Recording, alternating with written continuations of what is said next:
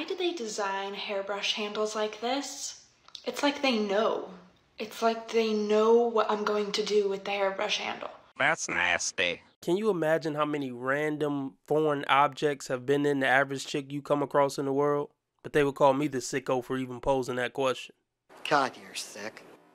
Her friends come over like, hey girl, can I use your brush? No, no, not that one. Not that one. Let me get you another one.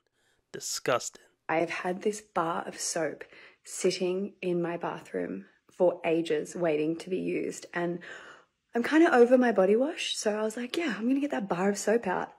I unwrapped it, started rubbing it on my body, and I was like, this does not feel like soap. This is not soapy. I got this in a PR package with like a yellow butter looking bag. It's a block of butter.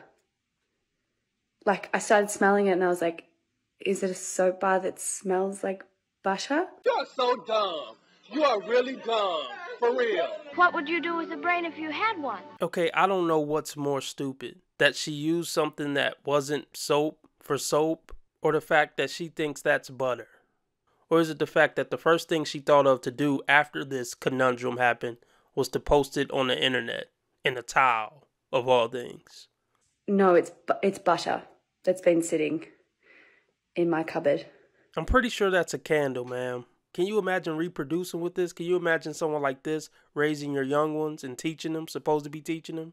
Hell no! She can vote. Just keep that in mind. This woman right here can vote for who the president of the United States is, the leader of the free world. And I'm sure there's plenty of men that this woman looks down on with the IQ of a rock. This is the most brilliant approach to how you handle the check if you're out on a date with someone and they want to go 50 50 with you. You go, oh my gosh, I am so embarrassed. I totally thought this was a date. I didn't realize you just wanted to be friends. Oh my gosh, like take my card. Total misunderstanding on my end. You know that that anger you get when you deal with like a person that's just completely stupid. What's wrong with your brain? Like like why do you not see what you are? like and I get there with women like like I, I truly do. Well, I'm pretty sure the guy will feel like he dodged the bullet since you're being such a KUNT about it. You're being such a snobby, rude, smart ass about it. So he'll let you pay and then never talk to you again. See, these are the type of women who feel like they don't really have to contribute anything other than their box. And it's just not true. Ladies, please don't take this advice. It's going to keep you single with her, which is what she really wants, so you can keep commenting on her posts. Nothing humbles a woman faster than checking her hinge likes. As in, who liked her? As in, oh, oh, you thought you had a chance with me. And I'm like, I'm no model, but come on. They all think there's some special thing um, entity on this planet that was God's gift to the planet. I mean, what would the purpose be of making a TikTok like this? I mean, I guess there's a bunch of other idiot women who will like it and say yes, queen in the comment section. But are videos like this supposed to make men who you do like find you appealing? Do they not realize that even top tier Chad will find this off putting and not want to F with you? I mean, your looks is the reason why he probably wouldn't want to F with you initially. But even if he had a weird thing for goofy looking chicks, this would definitely disqualify you. But they're not smart enough to know that. Hate to break it to you, Toots, that's your level. Whatever guy swiped on you, that's probably the guys you qualify for. So just stay single, please. Do you really think, you know, top tier guys would date a chick seriously who dress like that? Somebody done told you wrong. What the hell do you have on? Did you just come from painting or something? Like, what's going on? I mean, if you're going to get on the internet and talk, at least come top notch with clothes, if nothing else. I know you can't help how you look, but you can help how you dress. I think them just got a lot of fucking audacity. well, thanks for tuning into today's episode. I got into a conversation with a few guy friends of mine, and they're like, Oh, I want a good woman. I want a good woman. You know, it's so hard to find good women these days. I think y'all want good women until you guys find out it requires for you to be a better man. Shut up, shut up, shut up, shut up. Okay, ma'am, are you suggesting that you're a good woman? Are you trying to imply something? Look, I highly doubt it. I highly, highly doubt it. Women who get on the internet and try to shame men are not good women. I don't need to know anything else about you. That's all I need to know. No, you ain't talking. You? What? Look who's talking. And honestly, this probably isn't even something that really happened to her in real life. She probably just heard another girl say this on another TikTok. I wouldn't be surprised at all. She can't come up with a genuine thought. It's, it's damn near impossible. Where's your man at, lady? She's definitely projecting. I mean, I highly doubt she could keep a good man around. I highly doubt that. See, that's where women actually struggle. Looking cute and getting a guy to want to holler the first five minutes, fine. But keeping a guy around for five years, that's where pretty much every woman struggles. Keeping a guy that they respect around for five years. It's not going to happen. So it turns out that I just can't handle my alcohol. I was absolutely blackout. We went back to this guy's apartment, me and my friend. She was friends with his friend. Um, I woke up in the morning, didn't know where I was. She came back, saw me on the couch. I was like, what the And then she explained everything to me. I grabbed my stuff, I left. But last night I was going through all my photos from the weekend because I went to a list now. And I found a photo of me and him midway through, like, you know, and it's like a mirror angle. I'm like taking it when I'm on the bed.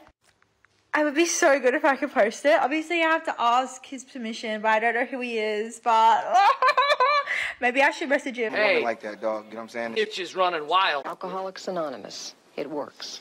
Look us up in the phone book. You know, who's going to pay for all this therapy in 10 and 20 years? Like, seriously. Can you imagine the type of women we're going to have to interact with in 10 to 20 years when these women's looks fade? They're going to be ringing you out at Walmart. They're going to be being rude to you in the McDonald's driveway. They're going to be causing drama at your job. They're going to be causing drama at the library, causing drama at the party, everywhere you go. You're not going to be able to escape all the chaos they're going to bring. I don't know what I'm scared of, but I know that I'm scared.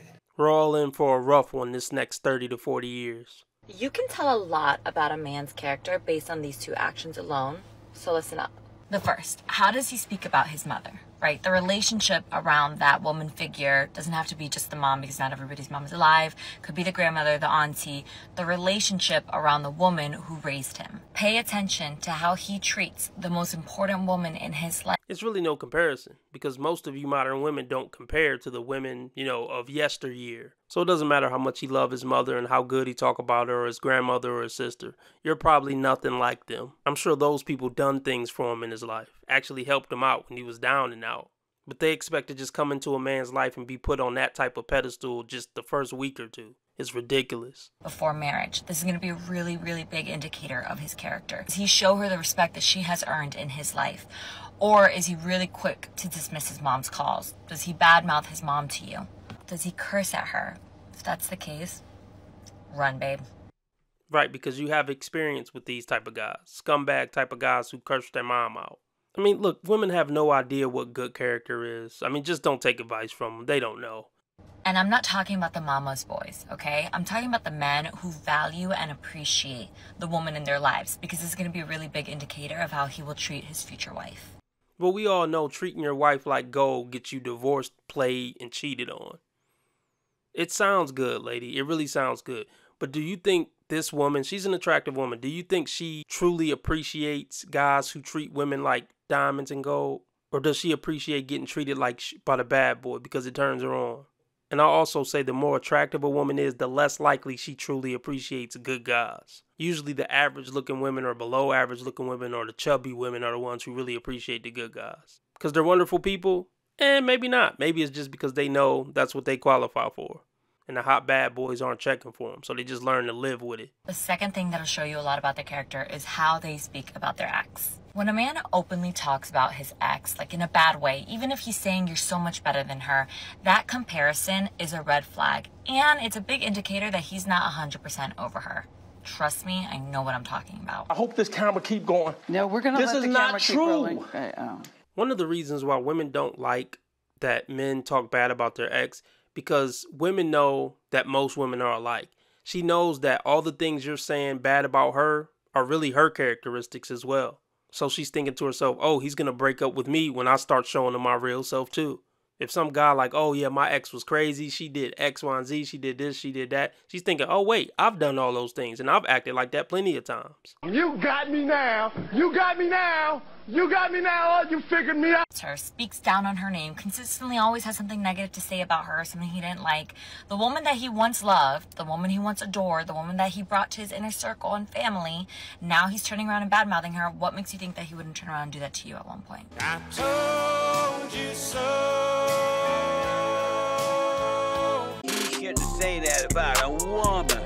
Why can't you say women are wrong when they're wrong? You want to be making moves on the street, have attachments, allow nothing to be in your life that you cannot walk out on in 30 seconds flat. Okay, first of all, I didn't miss the red flags. I looked at them and thought, damn, that's sexy.